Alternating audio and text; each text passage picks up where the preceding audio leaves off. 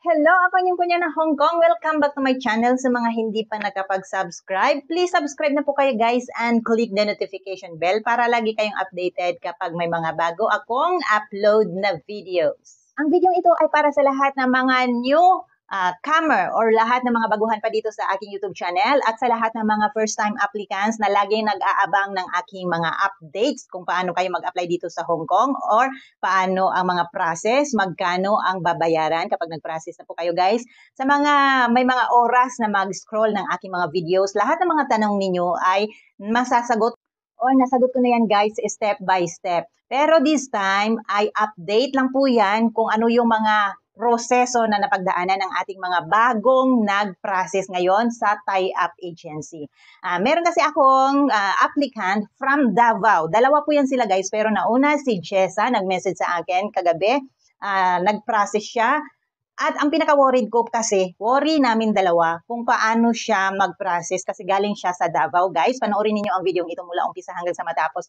Dahil, or para meron kayong idea kung nasa malayo kayo, kung saan or saan kayo mag-umpisa or paano kayo mag-process uh, kung wala naman talaga kayong matutuluyan. Kasi ito ang kaso ni uh, Jessa.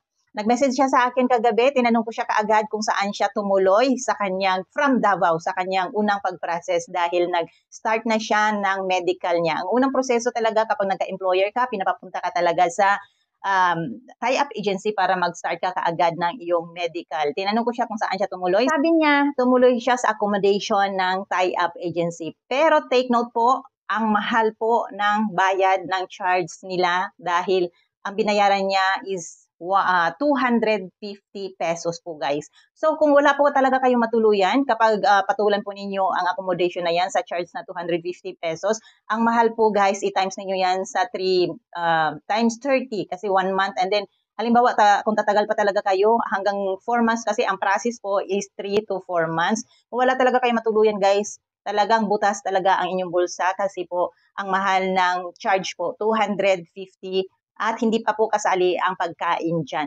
So, kung wala, uh, kung talagang hindi kayo magtatagal dyan dahil uh, pwede naman guys, kung galing kayo sa probinsya, patulan nyo na ang 250 pero ang gagawin po ninyo, maghanap po kayo sa iba habang nagpa-process kayo. Huwag nyo sayangin ang oras dahil hindi naman araw-araw magpa-process kayo. Maghanap kayo ng murang uh, boarding house. Kasi meron, sabi ni Jessa, tinanong niya yung mga naunang nag-process na nangupahan, uh, meron daw uh, rent or boarding house sa labas ng agency or malapit na siguro dyan, banda. Meron yan guys kasi marami na talaga dyan na alam naman ng iba na ng mga nakatira na dyan na walang mapupuntahan ang iba kaya meron silang mga paupahan. 160 lang po. Siguro isang araw yun. So, patulan na lang siguro ninyo kung wala talagang mapuntahan. And then, ang gagawin ninyo, maghanap kayo ng maupahan na mas mura po guys. Dahil si Jessa ay ex-abroad, wala na po siyang training. At balik tayo sa lahat ng mga nagtatanong kung paano mag-apply dito sa Hong Kong. Una guys, magpasa kayo ng resume sa akin or biodata. Kailangan po kompleto po yan. Yung biodata ninyo, wag po yung mga edited. Ulit-ulitin ko, wag po yung galing sa agency, sa ibang agency. Dahil yun guys ay walang mga picture. Kailangan ko po ang biodata or resume na may picture. At uh, kailangan kompleto po yun. Meron kayong mga employment history na ilalagay doon at yung inyong character references. Marami pa rin nagtatanong ano ang ilalagay sa character references. At yung tinanong ko si sir, kung ano ang dapat na ilagay dyan. Ang sabi niya, yung mga tao na nakakilala sa iyo dyan sa Pilipinas or mga kaibigan mo dyan na in case of emergency, meron silang matatawagan. So guys, yung mga nagtanong sa akin kung pwede ako ang inyong ilagay na contact person or contact references, hindi po ako guys kasi nandito naman ako malayo sa inyo at hindi ko po kayo kilala. So, kailangan yung mga kilala po ninyo. At kailangan po yan guys para okay po tingnan ang inyong biodata, walang blanco po. And pagkatapos ng biodata ninyo, kapag nagpasa kayo sa akin, kailangan po ninyo talagang ipasa sa akin sa inyong WhatsApp. Kasi guys, tinitingnan ko ang inyong WhatsApp at saka yung number ng biodata ninyo kung tama ba o tugma ba sa WhatsApp na inyong ginamit. Meron kasing kahapon na nagpasa sa akin ang kanyang biodata uh, Middle East na number ng kanyang WhatsApp and then ang kanyang biodata is Pinas na number.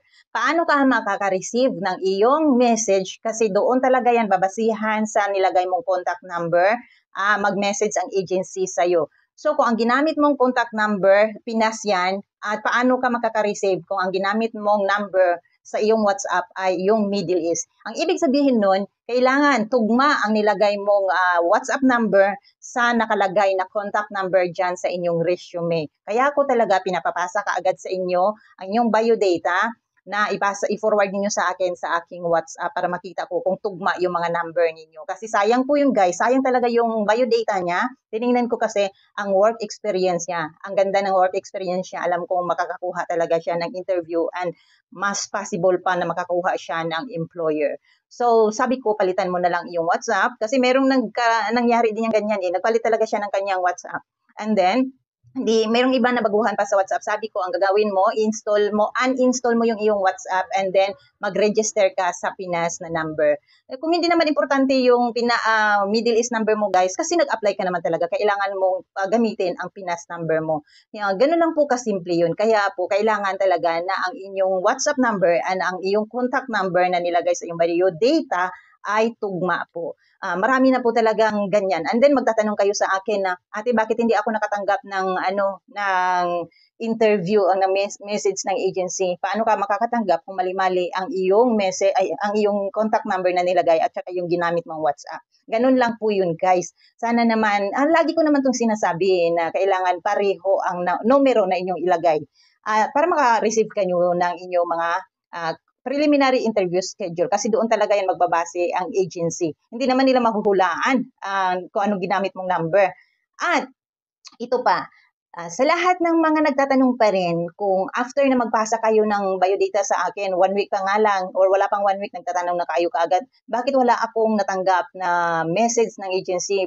Sa sobrang dami ninyong mga applicants, nag-i-screen or dumadaan na ang inyong mga biodata ngayon sa screening ng agency. Ibig sabihin, kung hindi naman ka-interesado ang inyong biodata, talagang rejected na yun. Kaya guys, sa lahat ng mga napasa ng biodata sa akin, ang gagawin ninyo para hindi kayo umasa na matagal, kapag one week pa lang, okay pa yun maghintay kayo. Pero pag umabot na talaga ng isang buwan, move on na po kayo guys, maghanap na po kayo ng ibang agency. Ibig sabihin nun, hindi talaga, uh, or ibig sabihin nun, rejected ang inyong resume. Ganun lang po guys, dahil dati kasi nagpapasa ako ng biodata ninyo, one week nakakatanggap na kayo ng mga um, schedule ninyo para sa broker's interview. Pero ngayon, one month ang pinakamatagal. At saka napansin ko nga eh, yung la, mga nagka, nag-undergo na ng interview ni broker, ang result pa ng kanilang interview malalaman nila after two days pa.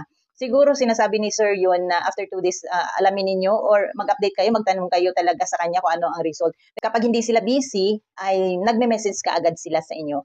At ito po ang tandaan ninyo. Kapag wala kayong ma-receive na message from agency after your interview, ibig sabihin nun, failed po kayo.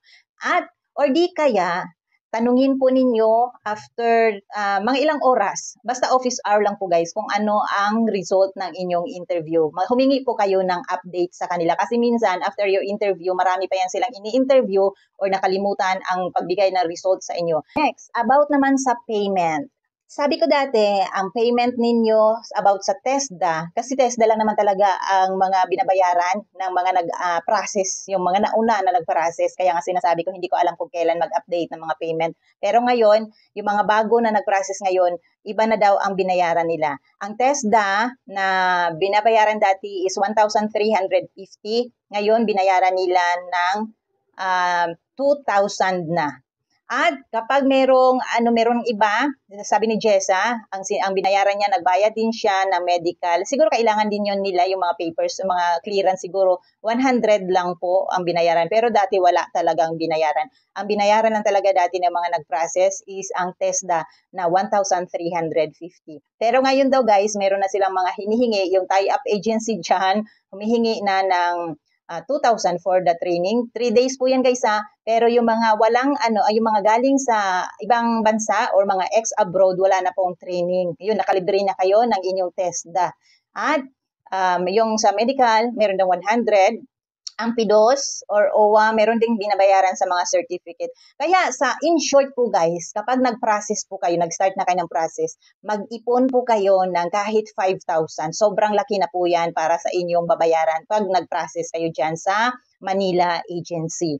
At ito po ang sasabihin ko sa lahat ng mga nag-a-apply. Kahit po, kahit saan kayo mag-apply, kahit no processing fee, kahit wala kayong ilabas kahit piso, mag-ipon pa rin po kayo guys or mag-save kayo para sa mga in case na may bigla ang babayaran. Hindi naman na ibig sabihin nun wala kayong babayaran, at relax-relax na kayo. Paano po yung mga transportation ninyo, pabalik-balik sa agency, or di kaya kasi nagpa-process kayo, or di kaya yung mga pagkain ninyo. Kaya guys, kapag nag-apply kayo, kailangan financially ready talaga. Okay na yung mag-ipon kayo. Kung yung hindi niyo naman magamit sa pag-process ninyo, eh, di ibig sabihin nun, maswerte kayo kasi meron kayong naipon, naipon na. At yun po guys, kailangan po habang nag-a-apply kayo, ipon-ipon po kayo. Baka in case na bigla kayong tawagin, meron kayo kaagad na pamasahe papunta ang agency. Hindi naman pwedeng i-reschedule ninyo ang inyong mga nakapila na na mga schedule pagdating sa halimbawa medical or di kaya nag-training. Tatawag kayo sa agency or magtatanong kayo sa akin kung ano ang magandang advice, pwede bang i-reschedule. Sayang po yung oras guys. Kaya kailangan ninyo habang naghihintay kayo ng mga pag-process ninyo, yung tawag ng agency na mag-process na kayo, kailangan may naipon na kayo kaagad na panggastos. Huwag po kayong umasa na walang babayaran kasi ang transportation ninyo guys talagang magastos. Kaya be prepare lang po kasi yan, wag na yung umasa na wala kayong binabayaran kaya hindi na kayo mag-iipon ng inyong mga panggastos. Yun lang muna siguro ang aking update ngayon. Uulitin ko, ang TESDA is uh, ah, 2,000 na po, hindi kagaya dati na 1,350. At ang medical ninyo, may babayaran daw na 100. Sa lahat ng mga walang mapuntahan, merong uh, accommodation pero may charge 250. At hindi pa kasali ang pagkain doon. Kung gusto ninyo maghanap ng maupahan, meron daw sa malapit sa agency na 160. Uh, kailangan lang po ninyo magtanong-tanong guys. Kasi kung hindi kayo magtanong, hang, uh, hanggang doon lang talaga kayo, mag-accommodation talaga kayo sa mahal na babayaran, 250 pesos. Okay, hanggang dito lang muna. Kapag may mga bago akong update, i-vlog ko dito. Salamat sa lahat ng mga nanonood. Salamat sa mga suporta ninyo guys. At salamat sa lahat ng mga subscribers ko na hanggang ngayon nandyan pa rin kayo. At sa lahat ng mga bagong subscribers, stay connected lang po guys. Lalo na sa lahat ng mga nag-a-apply bound to Hong Kong. Thank you for watching again and bye!